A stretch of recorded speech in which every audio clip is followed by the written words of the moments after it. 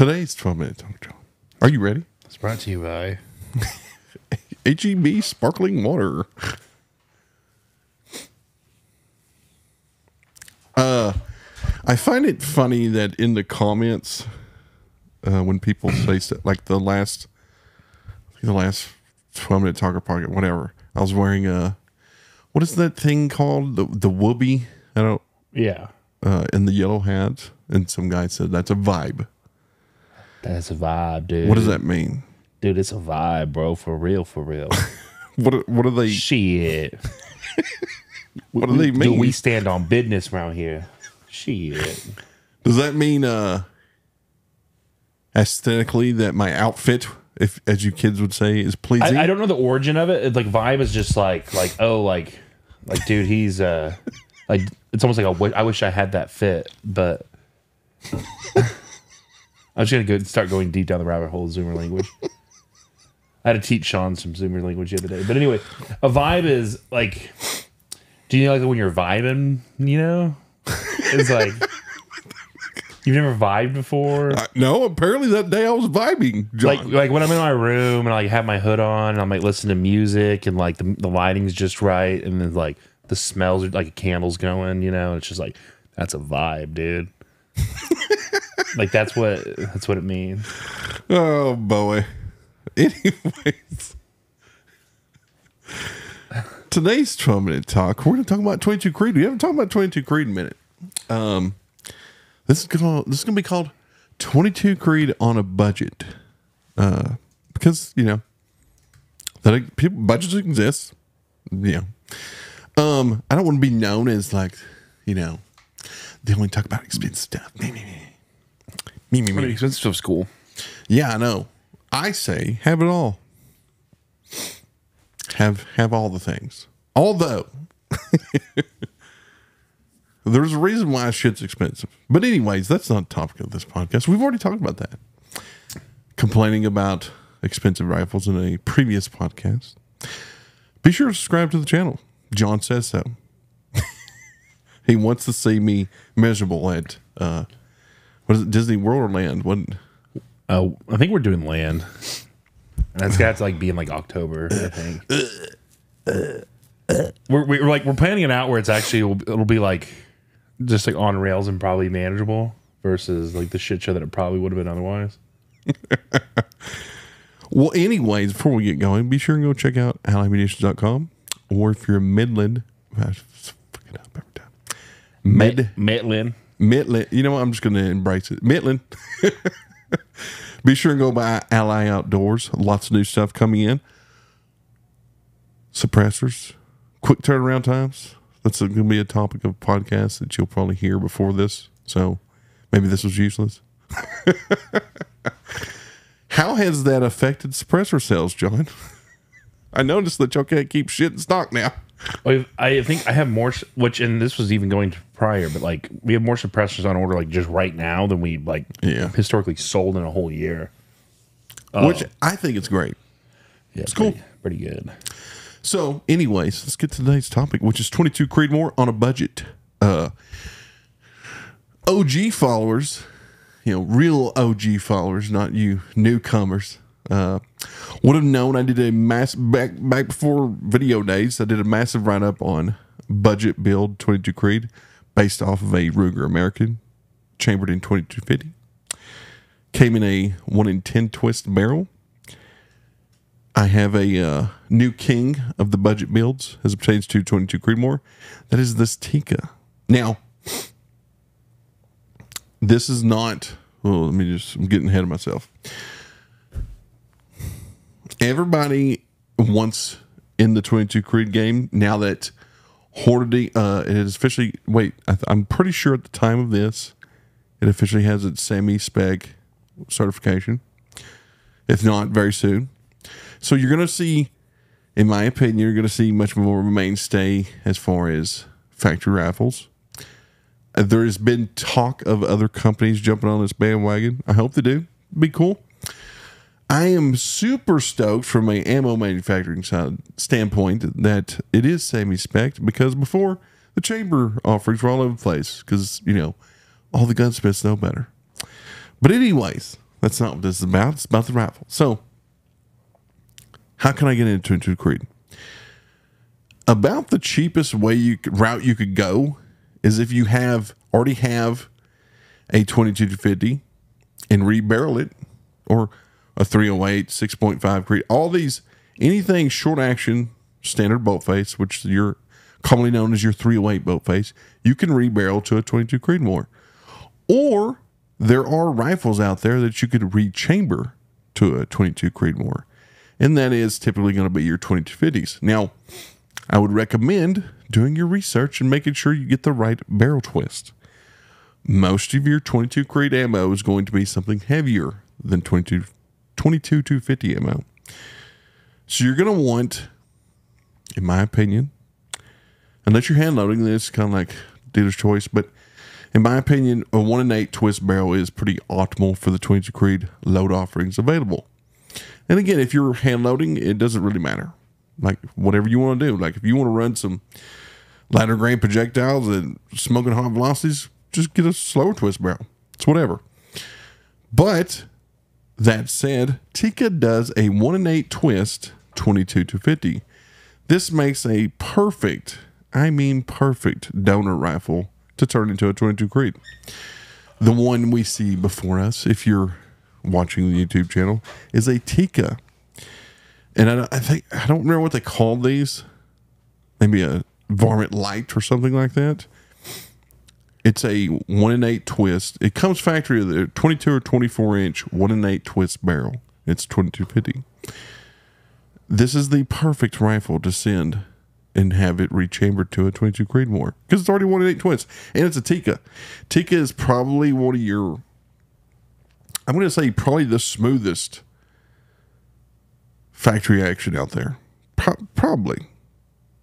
And, you know, Tikka has really taken off as far as the aftermarket uh, out there, like stocks and everything else.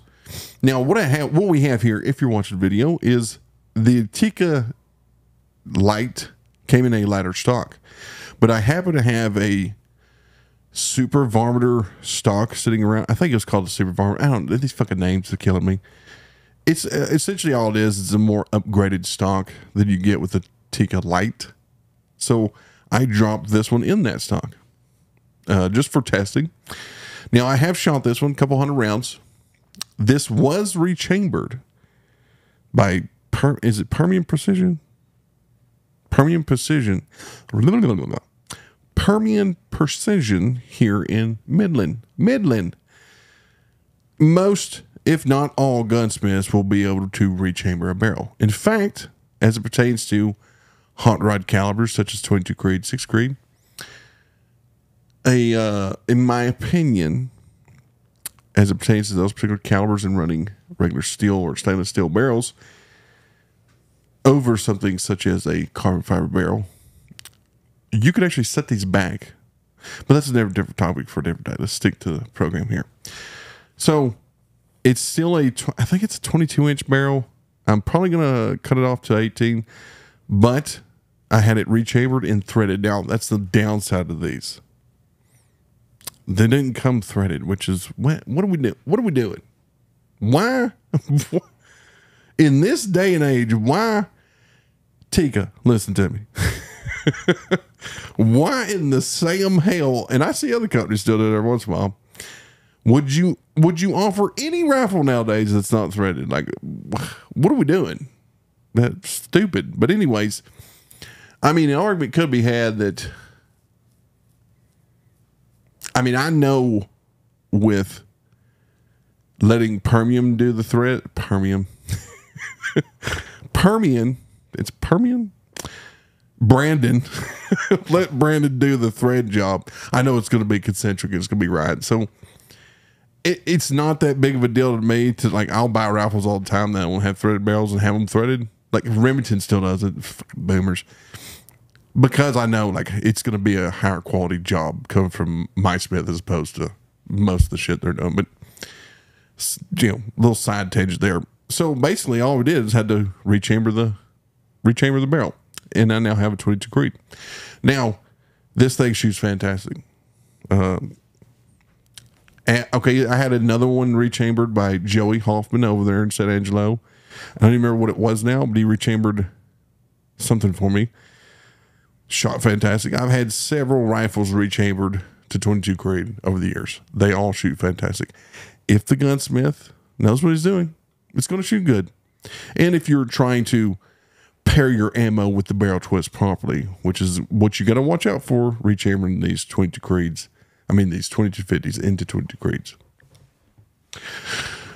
So, the Tikka, I think it's called the Tikka Light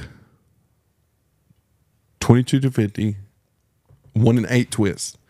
Tikka does still make a slow twist, uh, 20 to 50 in their super varminter and shit like that.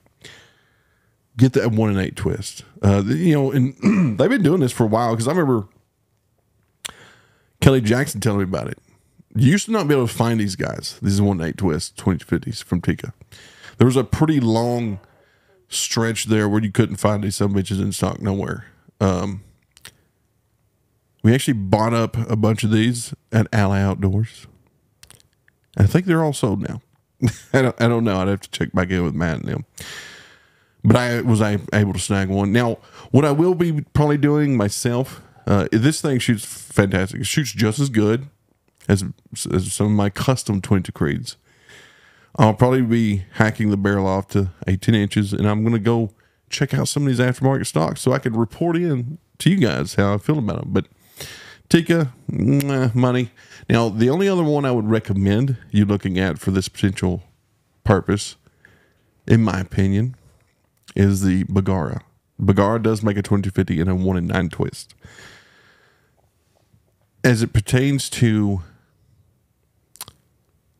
if you're curious about because like anytime we do these at resurface old questions, if you're curious about barrel twist, bullet weights, everything else, go check out I don't remember what episode it was. I did have it written down, and I don't know where that sheet of paper is.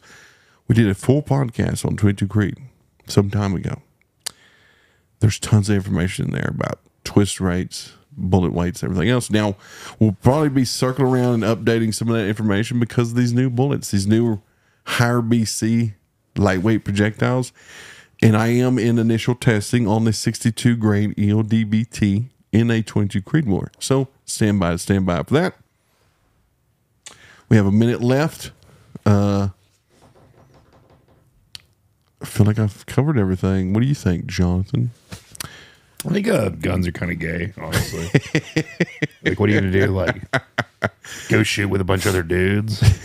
Now, the the the Tikka lights tend to come in a thinner profile barrel. Just so just so you're aware of that. Like the varminters, the, especially the new varminters, there's some good looking rifles. They're they're upgraded stocks, heavy barrel. But again, like in the 2050, it's probably going to be in the varminter line. It's probably going to be that slow twist 112 or 114. I don't remember. I will say this: if you're wanting like a superb hot rod for light grain projectiles, go for it. you know, if you want to like a 53 grain VMAX and a 22 Creedmoor and like a 14 twist, you can probably get you can probably do it in a 12 twist. And I think I have. I don't. I have to go back and look through notes. Again, go back and listen to that one full podcast. I know we touched on it. That would be a freaking incinerator. Uh, the stupid flat shooting. Uh, in fact, I have a 24 inch. I want to say it is a 12 twist that I do run specifically 53 grain VMAX, and that thing is. A lot of people throw around the phrase laser beam. That's a legit laser beam but it's also a 53 grain bullet. A lot of people, that's why they stepped up to the 22 Creed because they want that heavier projectile. But anyways, uh, as a whole, Tikka's a great action, great rifle. I've only seen one Tikka that didn't shoot well, and I've owned multiple Tikkas over the years, and that was a 260 Remington. you know, blah. But anyways, I mean that's it uh, you want to talk about fair price? I don't know if they've gone up here lately. It shouldn't. it it should be cheaper than buying a new barrel and getting it chambered and threaded and everything else. Should be. But also like don't skimp on your smith. Good smith gets you good results. I mean that's literally all it boils down to. But anyways, that's pretty much it for this one. 22 Creed on a budget. Uh, if you have any questions, drop them down, drop them down below. And again, there's a full podcast of 22 Creed if you have more elaborate questions about 22 Creedmoor. The book is still not ready. So I'm just going to go ahead and address that immediately. Be sure to subscribe to the channel. Don't forget we have another channel, Texas Predator Hunting. I will be commenting on this, so you'll see where to go, where we do more in depth look looks at stuff like this. Um, yeah, let us know what, down below. Like, have you rechambered a 22 Creed or a 2050 to a 22 Creed? Let us know how, how it went for you, what gunsmith you're using, all that good stuff, and we'll see you guys next time.